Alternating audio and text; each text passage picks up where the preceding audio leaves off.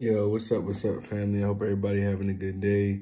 Um, today's encouragement that I want to share is that, like, you ever had those moments when you just you just think like you could literally be gone like that in the blink of an eye because when God called your name, like you used to see in on movies where people get the last breath where they, uh, tell this person I love him still, but it's like, and it don't work like that. You know, like you, you I don't. I, movies and real life are not the same thing. So I, I just stopping and having that thought. I just wanted to share that with somebody. Like, if you haven't given your life to Christ, if you haven't said to yourself, like, you know what, like, I could be gone at any moment. At any moment, like right now, we could just, if God called and stopped the whole world, we all gone. Like, you don't have the time that you think that you have.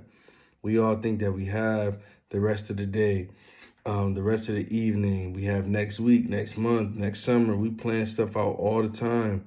But at the end of the day, God can stop all that right now.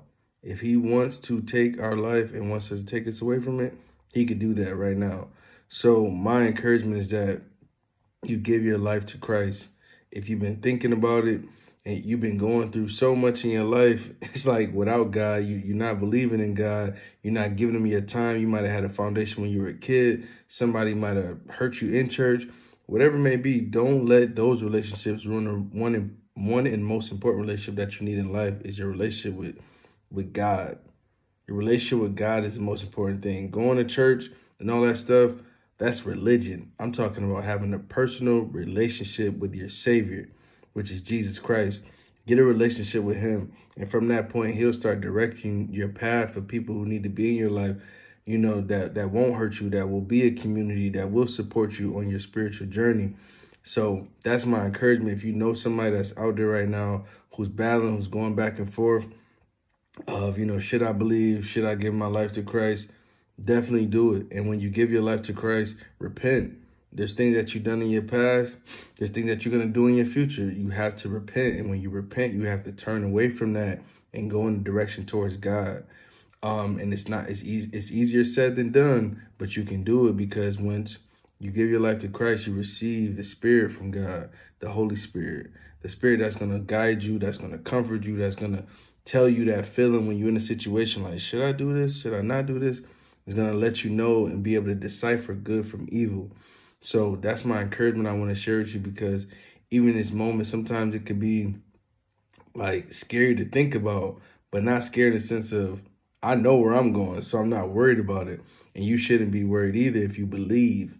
If you believe, if you believe and you repent and you know that God is who he says he is, that he's going to take care of you, that he has a place for us, then you're good. But it's just scared in the sense of knowing that you could be sitting here talking in one second, boom, and you're gone.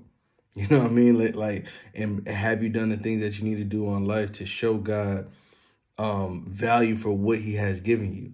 Have you took the blessings? Have you took the favor and actually applied it to your life? Have you helped other people? Have you loved other people? That's the biggest thing because when he talks about that in scripture, as far as the commandments, is is is he boiled it down to two scriptures and it covers the whole law. So um, it says the first one is to love God with all your my, heart, mind, and soul, and put no other God before me. And the second one is equally important to love your neighbor as you love yourself. So love is the law. So are you showing love to yourself? Are you showing love to the people that surround you, your family, your community? That's how it starts. And when people see that you show love to everybody, regardless of what they look like, what their background is, don't judge them, but just show them love exactly where they are because that's what God is doing to us every single day. When we first started giving our life to Christ and we were doing all type of crazy stuff, even to right now when we still are sinners, God still loves us more and more every single day. So at the end of the day, that's exactly what we have to do in the world. We have to be able to love people. So that's my encouragement. Like I said, um, give give your life to Christ, man. Stop waiting. Stop waiting, and, I, and I'll see y'all up there. Love is love. To God be the glory. Peace.